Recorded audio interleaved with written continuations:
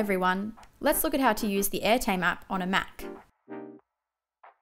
Open the Airtame app and select Share Screen to mirror your full display.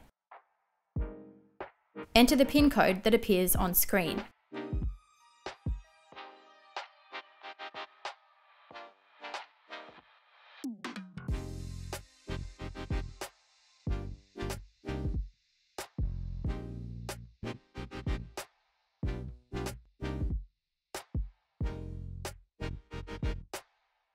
To present to more than one screen, open the app and click on Add Screen.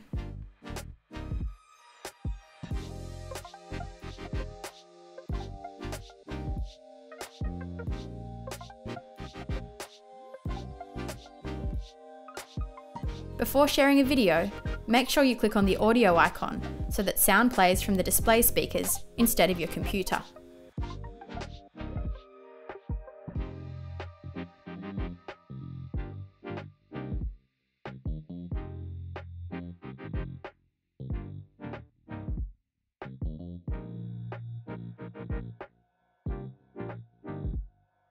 When finished, click the red stop button.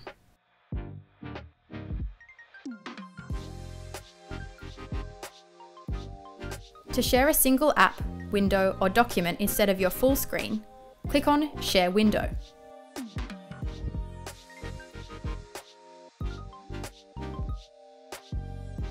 You can always switch between window and screen sharing during your presentation.